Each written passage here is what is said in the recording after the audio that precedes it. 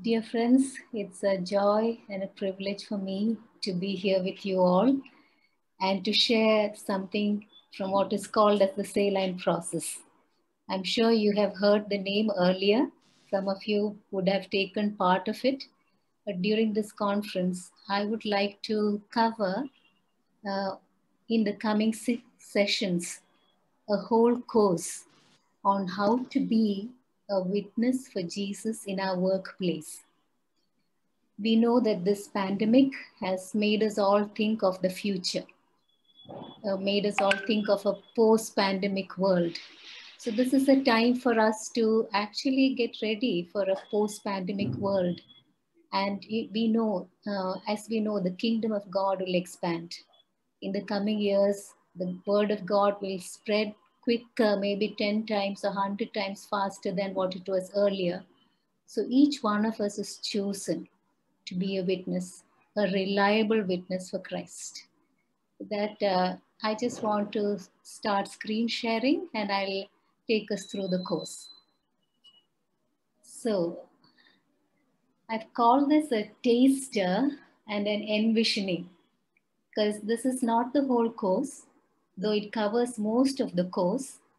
And I've called it also envisioning for trainers because I want, I would like some of you to consider, if you like, to teach the course. So if you are considering being a trainer, please keep sit here with that attitude in mind.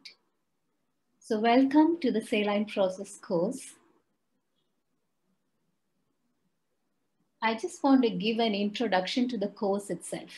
Today, we are going to do what is an introduction to the course. And then I will take session one and two today, which will be as two questions. I'll talk more about the questions in the coming few minutes. But uh, this is an introduction to the course. It is six sessions. And today now we begin with introduction. Now, in this three days, six sessions, all of us are going to learn only two things, very simple things. One is about each one of us. In this world, how can we be Jesus's reliable witnesses in this world? That's the first thing we are going to learn about us. And this is based on what Jesus said just before his ascension. Acts 1 8, Jesus said, when the Holy Spirit comes upon you, you will receive power and you will be my witnesses in Jerusalem, in Judea, in Samaria, and to the ends of the earth. Now, we are going to learn based on that how can we be witnesses in our workplace. Combined with this, I also want to remind us of Matthew 5:13, where Jesus said, You are the salt.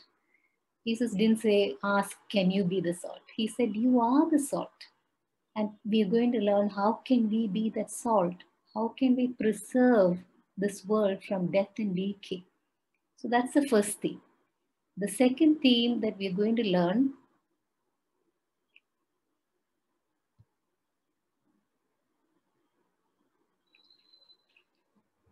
The second theme that we're going to learn is about our patients we know that we want to be witnesses, but we should also know where our patients are.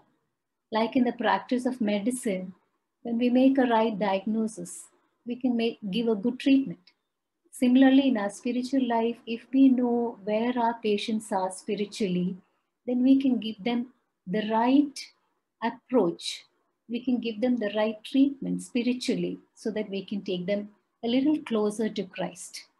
Jesus compared this to an agricultural model where if, you, if we have a patient or a friend who does not know Christ, many times our idea is to share the gospel and that person should accept Christ immediately. That's our desire. But Jesus says it's like an agricultural model. That person's heart needs to be cultivated or softened. When the heart is softened, it's called as building a relationship then we can sow seeds of biblical truth. And then once the seeds grow, there will be a time when the person is ready to accept Christ. That's when we do harvesting. And then, you know, that person can bring others to Christ. Let me tell you a, a story of one of my friends. Her name is Anu. She lives in Pune, India. So she was born in a in a Hindu family. Uh, and you know, when she was lit- very little, her father, who owned a bakery, uh, was making a lot of cakes. So Anu asked her father, "Why so many cakes?" And uh, her father said, "This is Christmas season, and Christians are going to buy a lot of cakes." She didn't understand what is Christian. So she went to school, and she realized that some of her classmates were Christians, but she was not. I'll, I'll uh, make the story short. She went to college and shared the room with another girl who was also a Christian. So she noticed that this friend of hers every morning would read the Bible and would pray in the night and would go to church on Sundays. So Anu asked her, What are you reading and what, where are you going on Sunday mornings? She said, Come and see. And uh, this uh, Anu went to church and she really liked the service. And then later on, when she went to college, she met a guy whom she really liked, and that guy was a Christian. They talk, talked about marriage, and Anu thought, well, I had a roommate who was not who was a Christian, and I didn't have any problem, so there shouldn't be any problem getting married to a Christian boy. And I don't know what happened between the families. Anyway, they got married, and one day Sanjay's uh, auntie visited them, and she invited Anu to a women's meeting in the women's meeting, Anu heard more about Christ. And she said, Auntie, this is so good. No one has ever taught, taught me all these things. And Auntie introduced Anu to the pastor. And the pastor invited her to church. She started going to church. Few months later, Anu accepted Christ and took baptism. Now, see, the seed was sown when she was a little girl, and it took many, many years, almost uh, maybe 25 years for her to accept Jesus. That's what is explained in here journey to faith. Now, if we ask the question, who brought Anu to Christ? Some people would say Auntie brought her to Christ, or some would say the pastor brought her to Christ. But what we are trying to teach through the saline process is even the little kids in school, even our children who are in school, are playing some role in bringing a person to Christ the cultivation. People in colleges, friends, they are sowing constantly. And maybe the harvesting is done in a crusade or in a church. That doesn't mean cultivation and sowing is not important. That's what we're trying to teach through the saline process that a person coming to know Christ is a process. It's not an event, it's not a one time thing, it's a gradual progress. These are the two things in introduction I just want you to keep in mind. One is about us being a witness, and the second thing we are going to learn is about the patient journey to faith. And so this can be uh, shown using this triangle in a hospital setting, in a busy practice. What is possible? What is possible is cultivation. Cultivation is building relationship with our patients with our colleagues who are not yet believers. And then sowing. Sowing, when we sow, it's only a seed. We don't have to sow a fruit. So when we sow, how can we share Christ in the limited time that is available in a consultation? Maybe six or seven minutes. How can we share Christ in, in, in the wards, in the OPDs? So that's what we're going to learn in the saline process. And we'll also learn a little bit about harvesting. So we continue with the course and we're going to answer these five questions today and tomorrow. First is why is faith important in healthcare? We, we have to have a, a good answer that faith is important in healthcare. That's what we're going to look at next. And the second, we're going to look at what are the opportunities and barriers for fulfilling God's call. Those two questions we will answer today. And the next three we will answer you know, two we will answer tomorrow and the final one we will answer on the, on the third day. So let's begin with why is faith important in healthcare? This is the first question. Why is faith important in healthcare? Let's look at this patient. His name is called John. So I'm going to take you through the story of this patient. He will travel with us through all that cultivation, sowing, and harvesting. And you will understand with uh, as as the story goes on how John is influenced by others and how what how the story goes. Let's start seeing John's journey.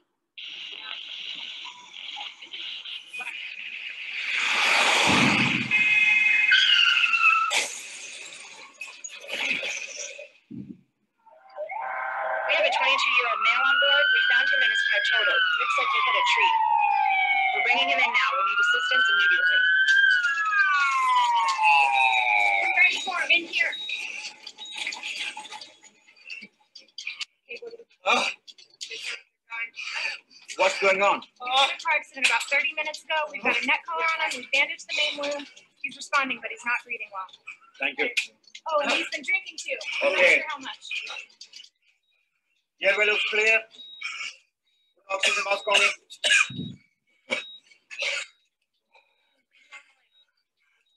No breath sounds on the right side. What's his BP? I can't get it. It's not reading. Abdomen feels firm. Take type and cross match for four units. Let us take him to the operation theater. Can we get a path clear here? Clear. Let's go.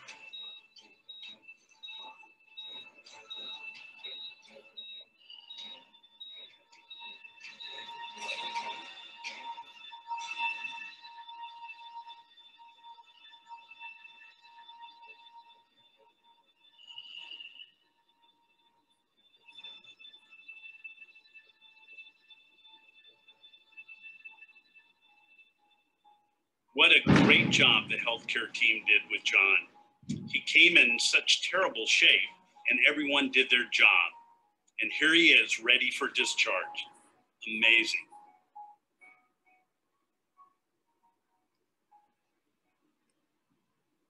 So uh, that was John. He met with an accident. So this is the case facts. And this is what the doctors, the nurses, and other healthcare professionals in the hospital helped John with. So normally when a patient comes to a hospital and we treat them, they get physically healed and they go back, we feel very happy. With every case that is uh, like this, we feel we, are, we become more and more experts and we feel happy and we believe that we, we are practicing good medicine. Okay, This is what we see normally in any hospital, be it wherever, you know, this is how we normally see patients. They come, we treat them, they get better, and they go back. That's has become the norm of healthcare. Now let's look at why is faith important? We did not even share faith to John. No one shared faith, yet he became uh, well, he went home. So this question arises why is faith important in healthcare? Now I'm going to tell you two answers. First is scientific research says that faith is important in healthcare. Can you imagine? Uh, there are a lot of researches done on malaria, tuberculosis, HIV, AIDS, and other diseases. But has anyone done any research on faith? Whether faith is important in healthcare? It's good news that people like us, Christian healthcare workers, have done research on if faith is important in healthcare. Look at that number. More than 7,000 researches have been done on whether faith is important in healthcare. And the outcome of these are that vast majority says, about 81% of them says that faith is important in healthcare. So good health outcome. Clinically, faith is relevant. So the first thing is there are a number of researches done and research supports that faith is important in healthcare. Now, this is just one study. In 344 studies published, an overwhelming majority showed that religion or spirituality helped people cope with illness and pain, lie overall life stress, natural disasters, acts of terrorism, diseases such as diabetes, cancer, HIV, AIDS, heart disease, kidney disease, psychiatric illness, and end of life issues. Everything that we hear today. Studies show that faith in faith in God or spirituality can help people cope. Now, here I want to share one uh, experience of one of my close friends. Uh, her father was diagnosed with cancer.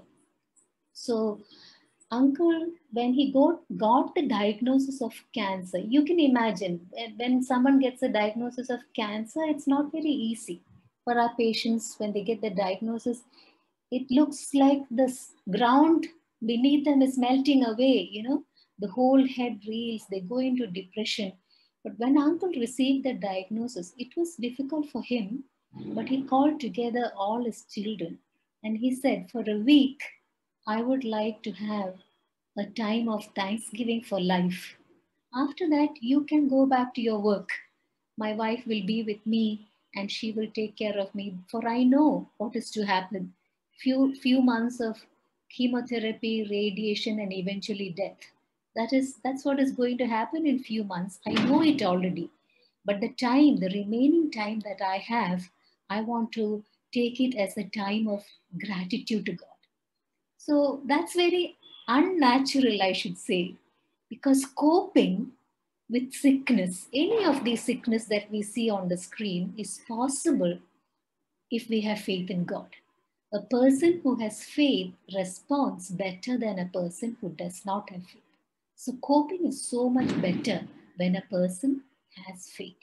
This is a simple example. I mean, I just want to give one example of the 7,000 studies, just one example of that people are able to cope better if they have faith. Coming to the next answer. Why is faith important in healthcare? One is scientific research. The second is God's call. If we look at Jesus's life, you know, Jesus treated many people. Whenever he treated someone, let's take, for example, the lady with the bleeding for 12 years. So she touched Jesus's cloak and she was healed. The bleeding stopped immediately.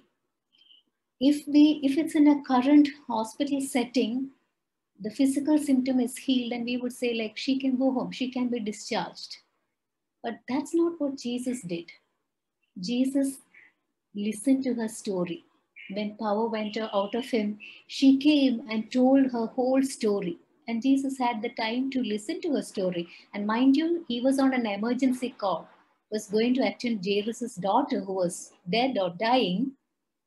And this lady comes and touches his cloak. But Jesus had time for her, listened to her story, and then calls her daughter. Calling, being called daughter, is, brings so much of an emotional healing and acceptance in front of all those people who considered her as untouchable. Jesus was calling her daughter, which means acceptance by God, acceptance by society. And then finally, he says, Your faith has healed you. So Jesus asks us, calls us to be such healthcare workers, such doctors, nurses, and other paramedics who will heal the whole person. So science and scientific research probably agrees to it today, but Jesus had talked about it much earlier and exemplified it much earlier through the through the through the word of God. Now look at others around us. People like you know, uh, let's take for example Dr. Ida Scudder, Joseph Lister, Thomas Sydenham. Who else? Doctors, nurses, Florence Nightingale, and others who followed Christ. Did they integrate faith and health or did they separate faith and health? Were they too busy to integrate faith or were they, did they have, that was a lifestyle. So it's not about integrating faith and health is not about an overwork. All of us are busy. We do not want to add any more work to our agenda. But saline process is all about a different lifestyle. The same time, the same work, the same atmosphere, the same busyness, but how can we be different? because God has called us to treat the whole person. And because science proves that a person who has faith in God has better health outcome. So, because of these two reasons, I want to give you these two answers to the question why is faith important in healthcare? Now, we have looked at two answers, and we have also looked at, you know, the the role uh, the role play or the scene of John, the patient. With this, I just want to say, even when you look at that patient John, he came with an accident.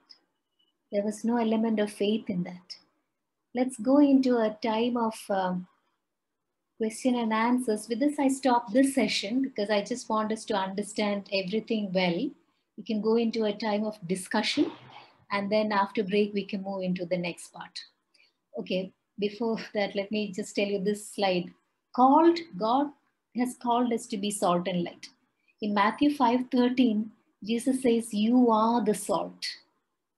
Now, today, uh, normal salt, normal saline is 0.9%. That's because it's isotonic with every body fluid, 0.9.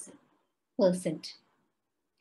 Jesus was concerned about the hypotonic. If the salt loses its saltiness, but he didn't mention mainly anything about the hypertonic.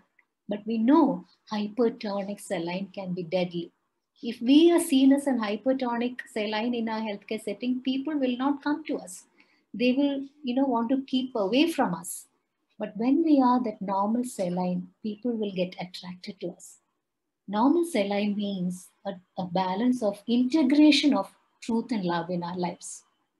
We cannot continue to be sweet, 5% dextrose.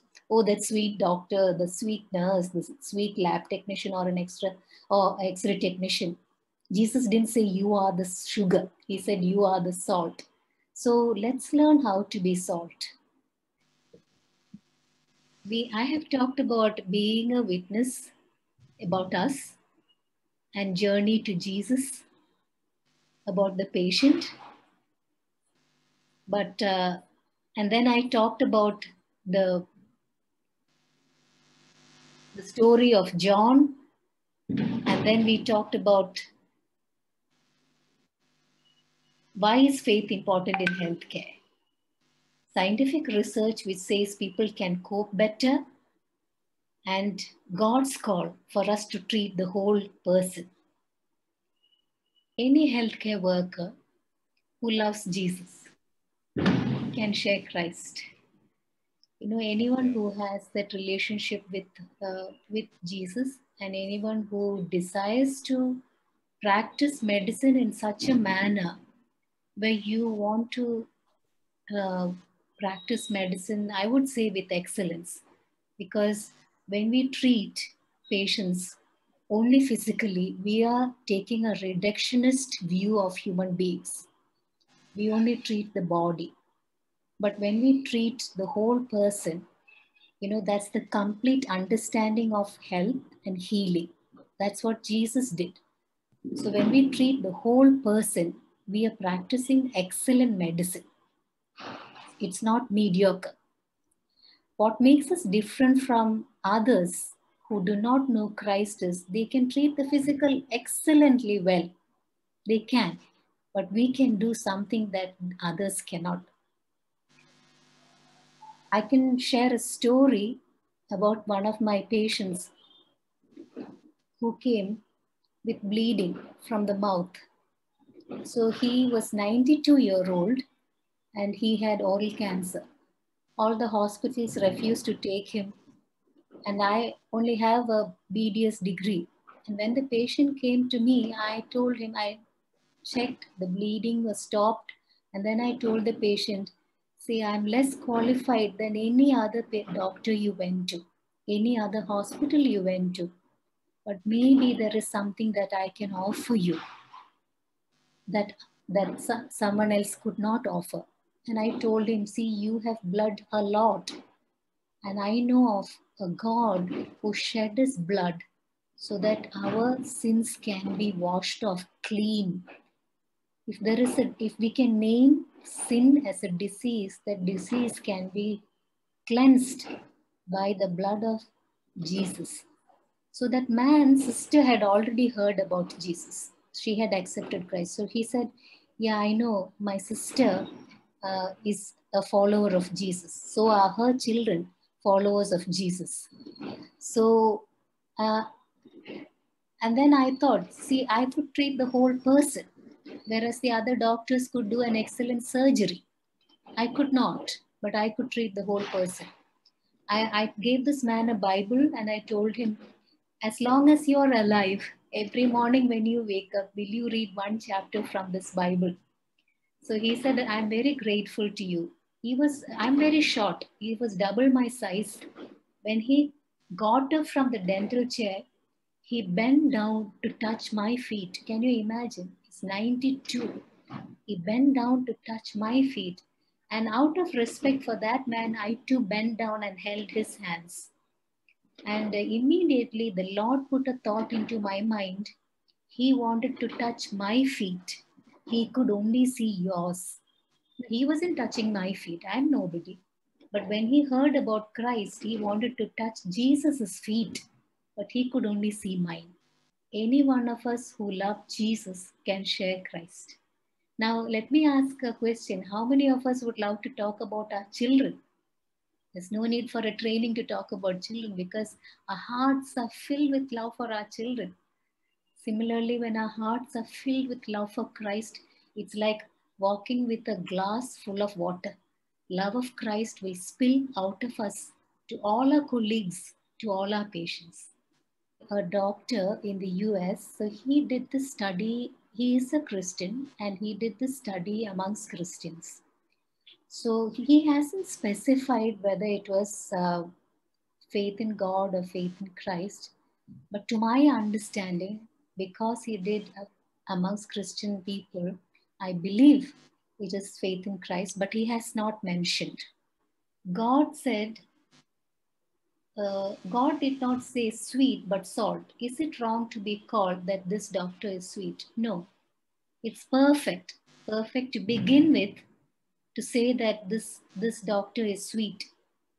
And I'm sure each one of us here would have heard at some point or the other patients tell us that you're so sweet. I like coming to you. There's so much of comfort. I feel so much better after coming to you. That's very normal. Normal for, I should say, anyone who follows Christ will automatically be sweet. But the point we are trying to say is, is that enough? Is that enough? And that is the phase called as cultivation. We have seen cultivation, sowing, and harvesting. That's a phase called as cultivation where we build a relationship. When the patient feels attracted to us, comfortable with us, they would say, You are very sweet. But what we're trying to say is for that patient, us being sweet is important, but there is something beyond in their life. Healing hasn't happened just because we are sweet. Healing for them happens when they come to know Christ, when their life is preserved from being dead and decayed in hell. That's that we have to be that salt that preserves their life from death and decay. That's why he says, we can be sweet, that's where it begins, but go beyond and bring that saltiness into people's life. This course is called as the saline process saline because uh, Jesus said, You are the salt of the earth in Matthew 5 13. And the salt that we understand is the saline solution. We want to be normal saline, 0.9%, not even 1%. We don't want to be hypotonic. We don't want to be hypertonic. And I said, with her, the theme of the conference is understanding the times. We have reached a time where now the gospel will spread maybe a hundred times faster than the previous times. And we can be ready. This is our time for us to be ready while we are in lockdown. Once we come out of this, we will be ready to share Christ to our patients, to the hurting world around us. And if we look at the lockdown time, the essential services, the topmost was the healthcare. How much more Christian healthcare workers have to be ready to take care of this decaying world So we have to be ready to be witnesses for Jesus. In this course, we are only learning two things today, tomorrow, and day after about being a witness and journey to faith. Being a witness is about us, and journey to faith is about our patients. And these two themes, we are going to look at it as five sections, uh, six sections. We are in the first section. The first one is why is faith important in healthcare? It's an argument. It's like an uh, even for anyone who doesn't believe, doesn't agree that uh, being a witness is important. There are two reasons. One is scientific research. Research, 7,000, more than 7,000 researchers now say that people with faith can cope better. I mean, there are other researches which I have not put here because this is a condensed version of the course. There are other studies as well, which shows that faith is important in healthcare. There was a time when science never agreed to spirituality, but a time has come when slowly science aligns with what God has already said. But when we look as followers of Christ, when we look at the life of Jesus, Jesus never treated only the body, he always treated the whole person. Some of his statements are uh, faith has healed you, go and sin no more. So that's Jesus's way of treating the whole person. We are followers of Jesus. He is our head. He is, he is the master physician that we want to follow.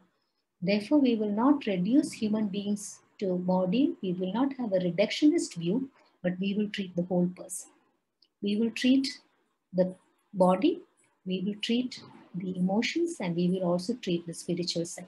We are equipped and we are getting ready for to do it more effectively. So that's why the, the course is called. And I also want to conclude by saying God's call, you know, it's not only Jesus, but even followers of Jesus Christ. I mean, I we need not go back to 100 years ago to Joseph Lister and uh, Ida Scudder or people like that. But we can come down to everyday life, like some of you here, but your lives itself, you, we, we have never separated faith and health. So let's continue to be people who will integrate faith and health.